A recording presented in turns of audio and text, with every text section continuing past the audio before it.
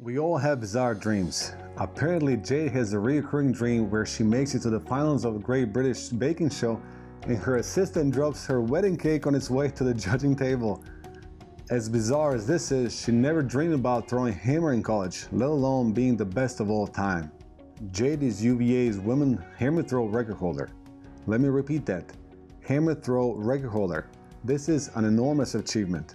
Since 1817, when Thomas Jefferson first picked up a hammer to build foundation for University of Virginia, no woman has ever thrown the hammer further than Jade. This is a fact.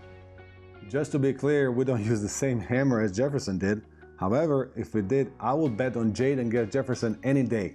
Also to be clear, we don't bet, it's an NCAA rule. If we could though, I'm sure you also would bet on Jade and you would win too.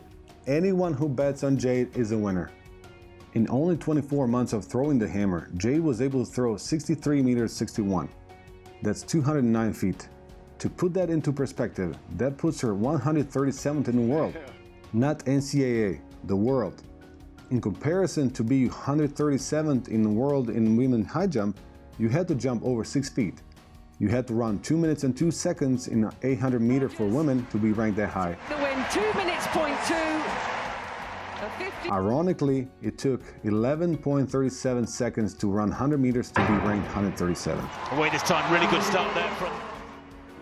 Jade came to University of Virginia as one of the top recruits in the country. She wanted to beat UVA record. College athletic career wasn't all sunshine and rainbows for her. Despite all that, Jade started her second year with unparalleled determination. She came to UVA for a record and she wasn't willing to go out until she got one. And she got it in the event that she never dreamed about, but she did it. But God had even bigger plans for this young lady, and I know they're even bigger than winning all the Olympic gold medals. Currently, Jade is a law student at Georgetown, and I bet she will go and change many people's lives for better as she already has. I want to thank you, Jay, for everything that you have done for our program, your program.